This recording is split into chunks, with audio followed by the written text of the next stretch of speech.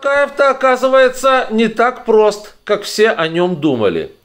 Он поиспользовал, поиспользовал как презерватив вот эти вот оккупационные российские силы из ОДКБ, а теперь вышвыривает их назад в немытую к чертовой матери, чтобы их и духу в Казахстане не было, и назначает к себе в правительство людей, которые, мягко говоря, недолюбливают так называемую Россиюшку. Итак, о чем идет речь? Помните, я еще вчера рассказывал о том, что на России приступ бешенства по поводу назначения там, нового министра информа... Информа... информационной политики, если я так не ошибаюсь, или информации, или пропаганды, как-то так оно в Казахстане называется. Не суть важно. А суть важно то, что этот человек, ну, мягко говоря, не любит, недолюбливает Россиюшку и э, рисует карты с Оренбургом и Омском, входящих в состав Казахстана. И там еще ряд регионов России. И вообще, так скажем так, километров на 300, на 400 расширяет границы Казахстана на север. И является тюркистом, то есть сторонником э, определенных объединений, определенных процессов с Турцией. Как в дополнение к нему назначен новый госсекретарь Казахстана. Зовут его Карин Ерлам Ерлан Тын, Тыным Баюлы.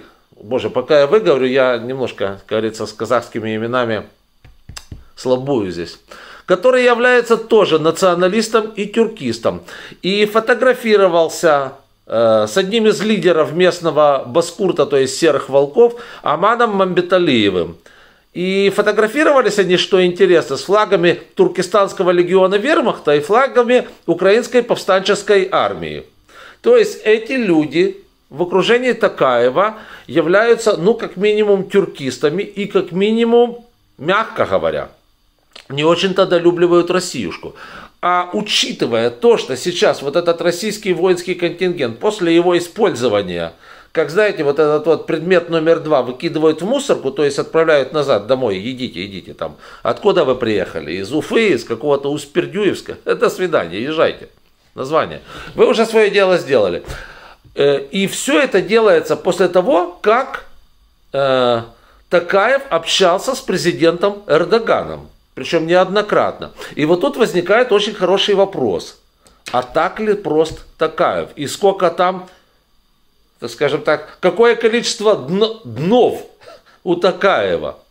А Бог его знает, этого никто не знает. Видите, мы его ранее воспринимали весьма просто и говорили, что он агент ФСБ, потому что у него действительно там недвижимость на Москве, и у него его данные скрыты из э, Росреестра, то есть, ну, очень похоже на то, что, знаете, как э, у сотрудников ФСБ, э, данные которых изымаются отовсюду, и кто знает, может так оно и есть. Но, ведь вы понимаете, такая штука, годы идут, годы идут, и тот человек, который 20, 30, 40 лет назад, скорее всего, мог быть сотрудником КГБ, штатным, нештатным, еще каким-то, и членом партии, на сегодняшний день полностью меняет свое мировоззрение.